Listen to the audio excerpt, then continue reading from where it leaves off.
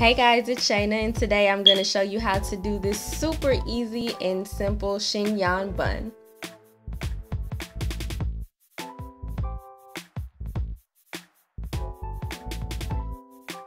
Well, first and foremost, I'm going to take my hair out of this top knot bun that I slipped in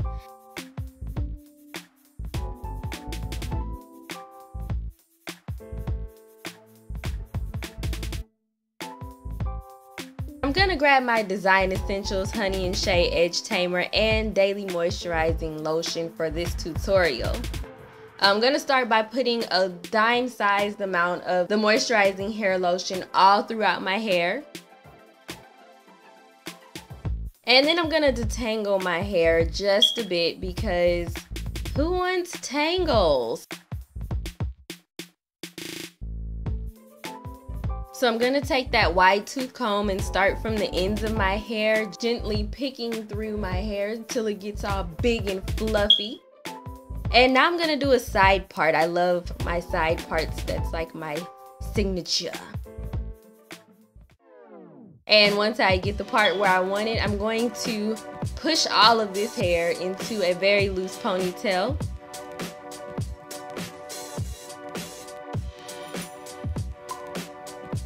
And then I'm gonna roll the ponytail holder down to the base of my neck.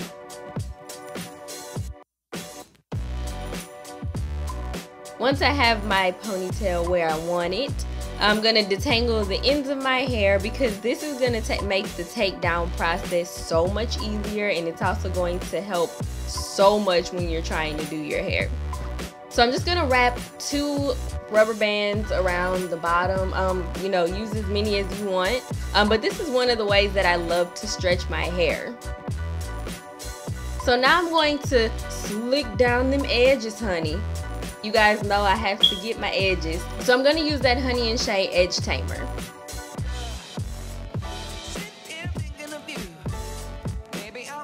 Now I'm gonna take my super duper gigantic headband and wrap it around my head twice as you have seen me do many a times before. Now I'm going to create like a little gap in, between my hair and I'm gonna flip that ponytail up into the gap. Then I'm going to take a bobby pin, and this is really hard to see, but I'm taking a bobby pin and I'm putting it around that first ponytail holder. And then I'm securing the bobby pin to my head by sticking it into the headband.